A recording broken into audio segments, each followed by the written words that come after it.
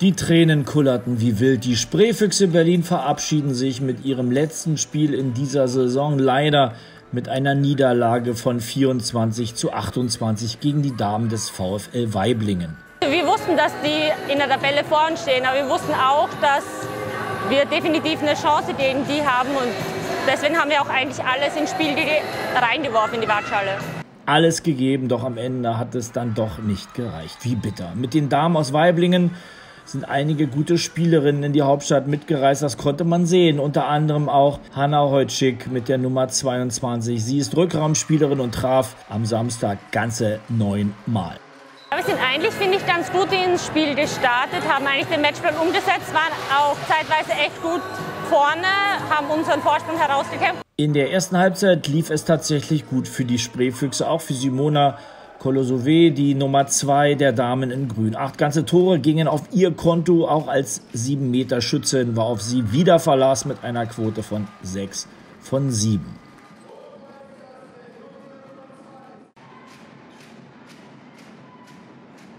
Auf Angriff ging auch sie hier, die Nummer 10 der Spreefüchse, Anna Blödorn, die hier ihr Team schon seit neun Jahren unterstützt konnte, am letzten Spieltag mit immerhin vier Toren glänzen. Mit einem Zwischenstand von 14 zu 14, also sehr hoffnungsvoll, ging es dann in die Pause.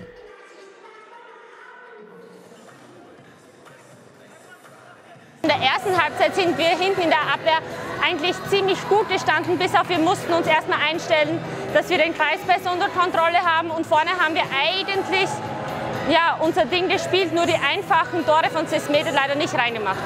In der zweiten Hälfte sollte sich aber alles ändern. Die Berlinerinnen machten immer wieder Fehler und die häuften sich dann auch. Und natürlich konnten die Gäste davon profitieren. Tina Welter mit der Nummer 93 machte mächtig Druck. Sie traf in der gesamten Saison schon 88 Mal, also musste auf sie besonders aufgepasst werden. Trotz der Gegentore der Baden-Württembergerinnen konnte aber auch die Torhüterin der Spreefüchse stolz auf ihre Leistung sein, denn wenn die Defensive mal nicht ausreichte, war häufig, ja, häufig auf Natascha Fassgold Verlass.